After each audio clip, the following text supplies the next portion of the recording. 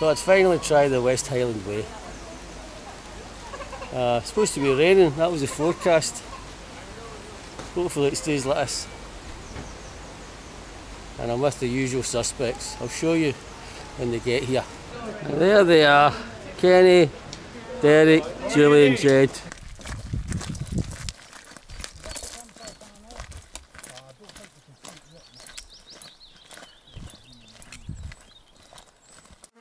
Scots Wild Camper, the wild camping channel for the great outdoors.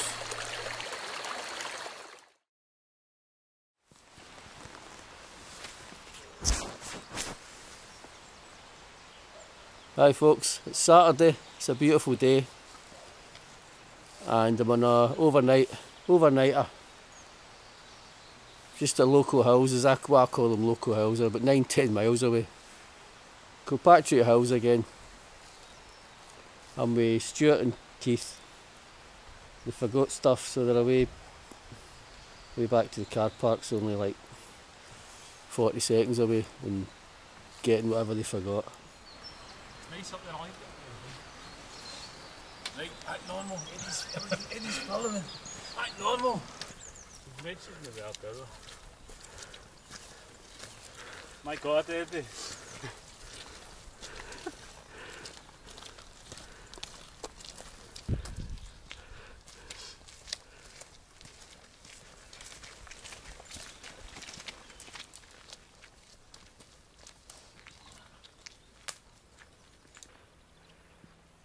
You've seen this view a lot if you've watched my videos from the start. This is a this is a bit of work, this bit up to Jaw Reservoir. Uh, Right.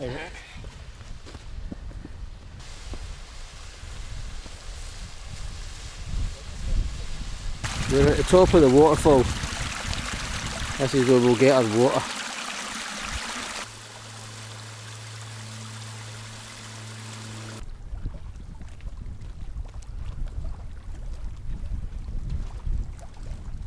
Jaw Reservoir.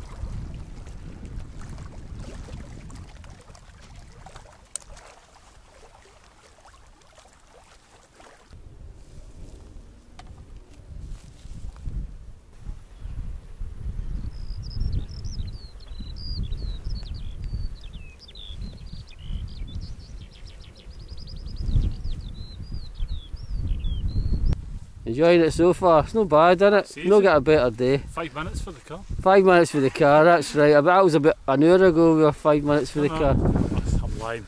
I'll tell you exactly how much. It took us an hour and 20 minutes.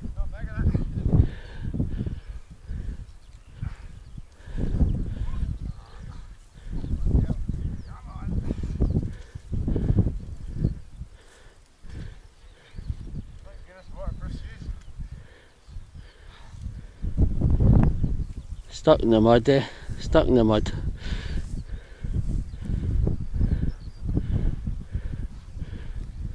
Alright. Let's think of that. Hi guys. Alright. I got a lift. No.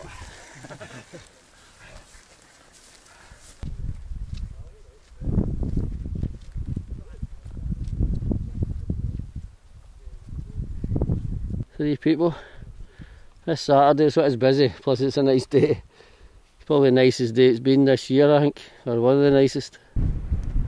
Yeah, small, middle, and large Duncolm. It's Ben Lomond.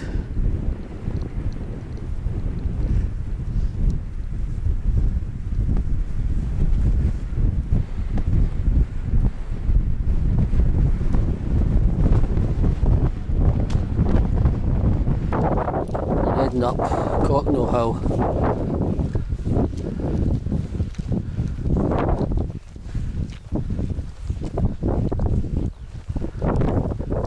Reservoir, and that's where we're heading up. We're about halfway on the hike, done about three miles. Stuart's got one of the things in his phone. Three miles, on earth. Three miles of walking to go. what a day. A bit of time I got a decent day. Was saying that my Loch Etive hike, if you've seen that, that you can't, you can't get better conditions than that. But apart from that one, the other four or five times I've been out this year, or the end of tail end of last year, I've been I've been uh, you know windy, windy trips. Not the best of weather. This is just it's almost perfect hit walking conditions. Slight breeze. It is. It's no warm if we stop. You know, it's we'll feel the cold. I think it's going to be minus, certainly going to be below freezing tonight. I think minus five, something like that. But uh, cheers. At the moment, it's just about perfect walking conditions. I watched it one I was out in the hammock, I was sitting watching it. Yeah, yeah, yeah. Marco was the. Yeah. Can head down there and we'll take 20, 15, 20 minutes. Have a wee drink and a, and a biscuit. Or a chalky bar, I should say. And then up, up to the slacks and over. And then back down to Loch Humphrey, about in the middle, and then walk through to Black Linn. And that's the camp. I was going to take the lads a longer route. Yeah, yeah, I started But- doing more camp. So if they come up with next time, we'll go that way. This is like a maybe a two and a half, three hour route. There is a much longer one, maybe double that, but will do us today. Maybe we sit out a bit and enjoy the sun. Although it'll be, it won't not be that warm right enough. Seen several cyclists today.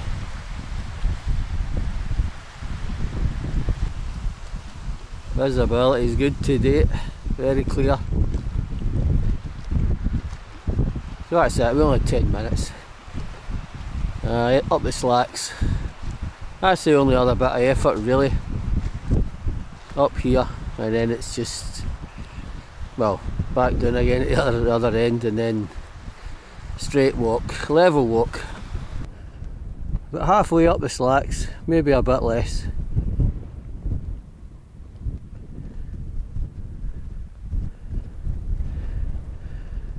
And that's where we came from. Over there, Cocknell Hill.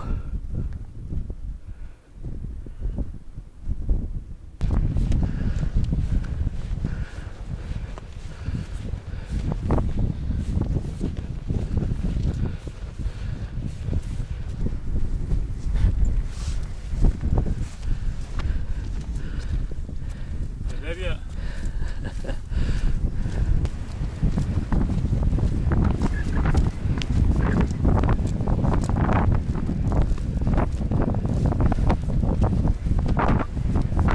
Up at the summit, slacks. A dance or something. Do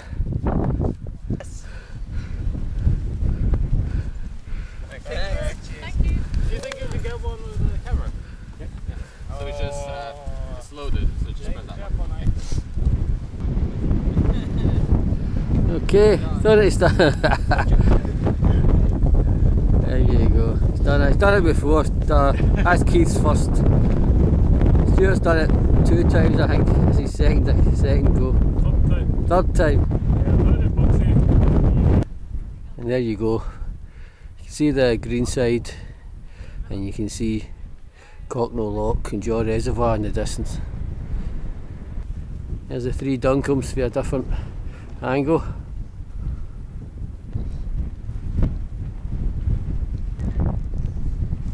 Green up way up there.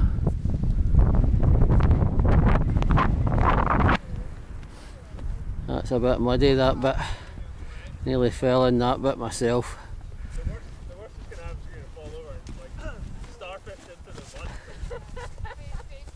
Yeah, I know that, but yeah, she made it good. Right, that's it. We're getting there. Getting there. Enjoy a cup of tea. Aye, we'll enjoy a cup of tea when we get in it at the Black Linn. Well, saying that, I've got coffee and hot chocolate. You know what I mean.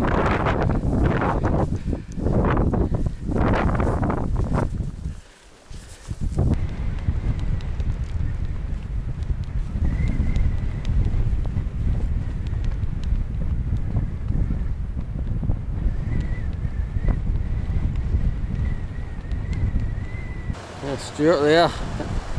He's going for a swim. it's not quite that hot.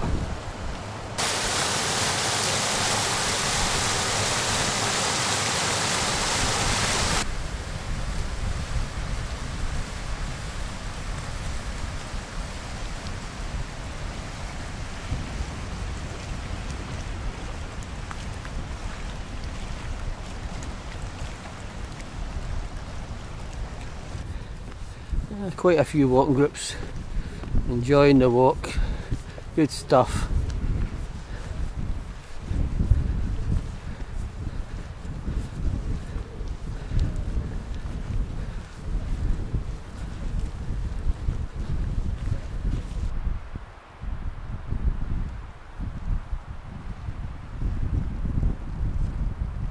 Looking good today the loch I always like this bit. I always film this bit because I like it. I like looking at it myself when I look back at the footage. Even if I don't put it in, but I will put it in.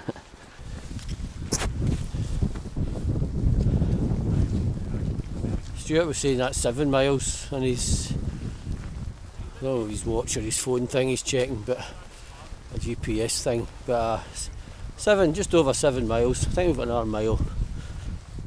Just about another mile to go. That's not too bad. It's a nice walk. Eight miles and a bit of, wee bit of uphill effort as well. Look at that. Straight on. Visibility, as I said already, is really good. You don't usually spot that. Not as clear as that. That's us at the Black Linn. We're just going to camp at the bank. Did that with Stevie.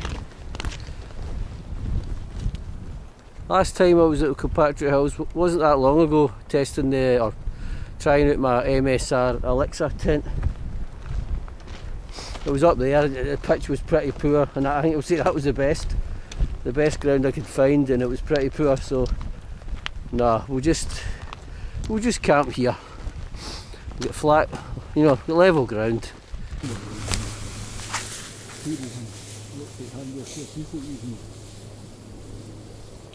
I've got a red one. I like the red one. Stuart didn't give me it though. Buy them on eBay. Ah, I've got that one. thought you might have swapped. But Julie likes the red one as well. Yeah. Julie wanted my red one. She was, said she would give me a pound more than it was what I paid for it.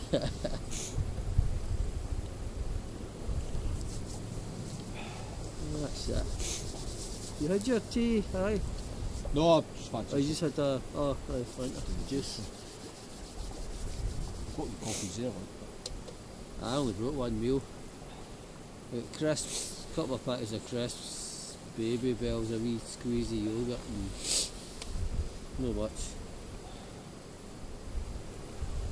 Kit Kats. I've got Kit Kats if you like Kit Kats. I'll go chuck one over to you. Kit Kat, now you're talking.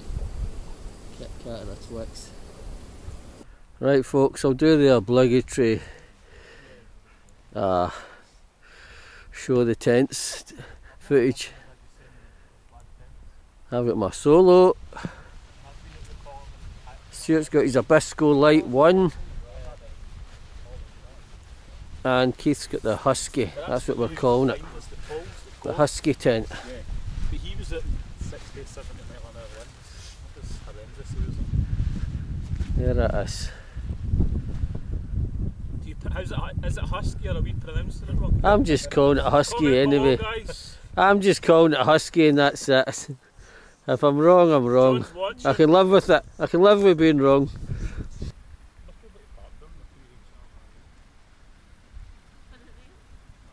Nice view.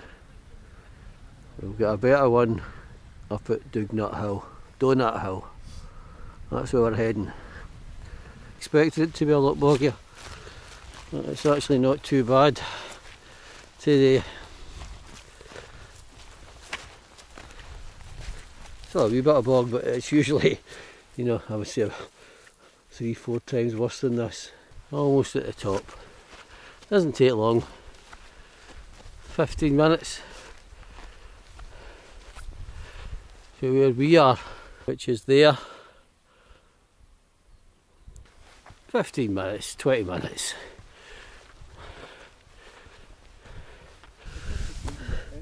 Second time here. There's a Clyde.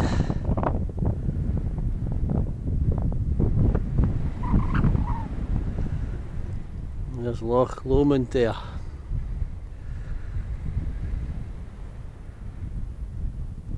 Fantastic.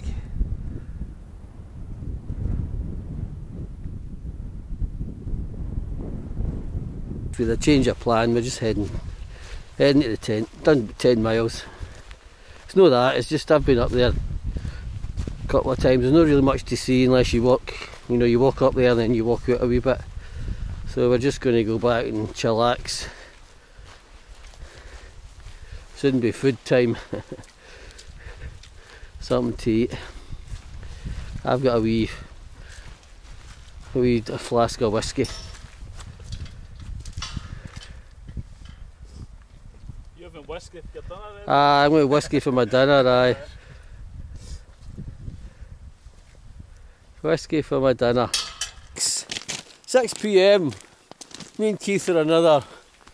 Going for a wee hike. Stuart's away in his bed, the lazy bugger. He'll not like that. No, to be fair, he's just in his bag. He might have drifted off. So we didn't want to disturb him. Is that Greenlands? There's no Greenside. Greenside is the green. I think that's Greenlands Reservoir number two. And that's about, I would say it's maybe five years or longer since I've seen that. that I used to be surrounded with trees. I'm sure that's Greenlands Reservoir number one. That's just a short thing is it's a short walk down but we're walking straight uphill now so that'll be you know two or three times longer to get back up. That's it, it's a good idea, heat yourself up and we're going to have a wee whiskey when we get back. It's still early, isn't it? the night is still young, Past six. half six. yeah.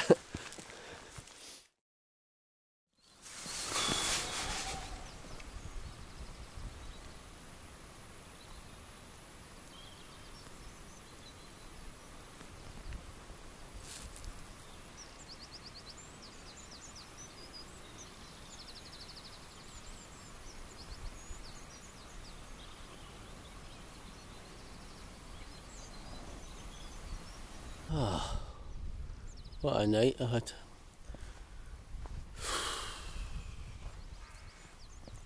Feel rough as anything. I never had any meal, never ate anything. Had a wee bit of whiskey, just a wee bit, but no food, no fluids. Just a bit of whiskey, a packet of crisps. Couldn't get, just couldn't get to sleep. Couldn't get comfortable. Serves me right, so I'll not be doing that again. I need to, I'm out again in a few days. I'll certainly be eating. I'll certainly be eating then, and drinking some, getting some juice, some water. Everybody's up. Stuart had a good sleep, as I said. And I've, hours. aye, 13 hours, eh? So I'm still a bit tired. Aye. Yeah, I'll not do that again. Um, I'll make sure I eat something.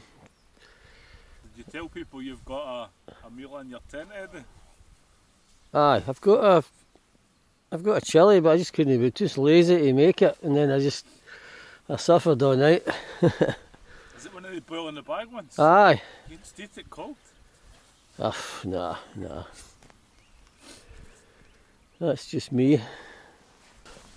I'll survive. We're just going to slowly get ready and we'll be away. Still, we've got a decent walk back because we've got a steep bit to do in the walk back. It, it's quite a steep walk up that hill, so we've got a a bit of effort to get back. Aye, there's one bit that's steep on the way back. I think we'll probably go the shorter way back once we get to the green side. But anyway, right, let's let's get on with it. Right, folks, that's it. I'm going to end it here so we can concentrate on getting out. See, I just loved that when I was like, Right, there's uh, Stuart and Keith. Get out with them again, maybe up here or somewhere else. So I'll see you for the next one.